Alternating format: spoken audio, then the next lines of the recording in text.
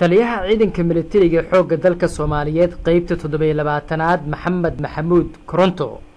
oo saxaafadda kula hadlayey magaalada beledweyne ee gobolka hiiraan ayaa faahfaahin ka bixiyey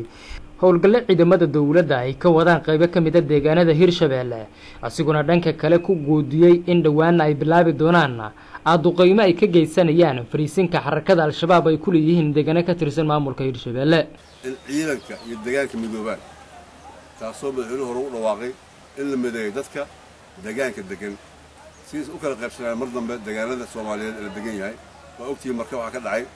in dadkii isu keenay ay xabadka iswadageliyeen oo qoryada dhulka la wada dhigay la isku wada ooyey sababta maxaa keenay dowladdan ayaa keentay inay dadka isu keento waxay ka socotaa gaalkacyo waxay ka socotaa maanta beledweyne oo maalidood aan waadsinoo ogtihiin gedii kale oo qaraxshin aan tagnoo ogeyneen marka howlgallo badanaa meesha ka socda oo isugu jira dadkii dib in loo soxo dadka qalbiyadooda soo dumo si cadowga loo helo meesha joogo loo helo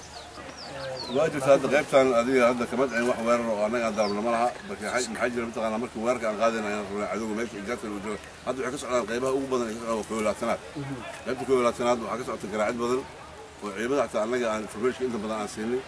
haddana inta waxaan u joognaa in aan war kala qaadano ciidamadan jooga amid soomta sida jabuuti iyo etoobiyaanka inaan warbixin kala qaadano inta aan joogay hadda horaasaan wadnay markaan kala qaadano ogaano exactly cadow meesha joogan inay waxaa dhici doonaa insha allah cirka inay ka duqayaan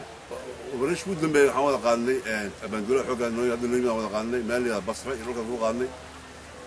Taatikada ciidanka hore loo bedelay ayaanu ku soconnaa. Maalinba meesha lagu sheego inaan aadno ku dhufanno aan burburino cadowga kana dhaaqno. Ayaa go'aankaya hadda basra waa soo dhamaynay haddana meelo kale waajibka ku xiga. Meelo badanaa jira laakiin hadda u sheegi mayno oo hadda ay ku ormasan yihiin waana la tegi doonaa idan beledweyne insha allah hadda waxaan jecelnahay ammaankeeda inaan saa difaac u sugno insha allah hadda ammaankeeda sugnaya laakiin waxaan rabnaa dadka deegaanka marka hore inaan ka mideyno si aan cadowga soo dhex bixin meesha ku jiro hadalka taliyaha ciidanka militariga deegaanada hirshabeelle ee qeybta toddobiyo labaatanaad maxamed maxamuud koronti ayaa imaanaya xilli shalay dagaalyahano ka tirsan al-shabaab ay waddada u galeen koryo gaadiid ah oo ka tirsan ciidanka xoogga dalka kuwaasoo marayay inta u dhexaysa deegaanka gololey iyo balcad waxaana dagaal koobana deegaankaasi ka dhacay lagu dilay sagaal askari oo ka tirsan ciidanka dowladda soomaaliya. Cabdishakuur maxamed xasan zab t v beledweyn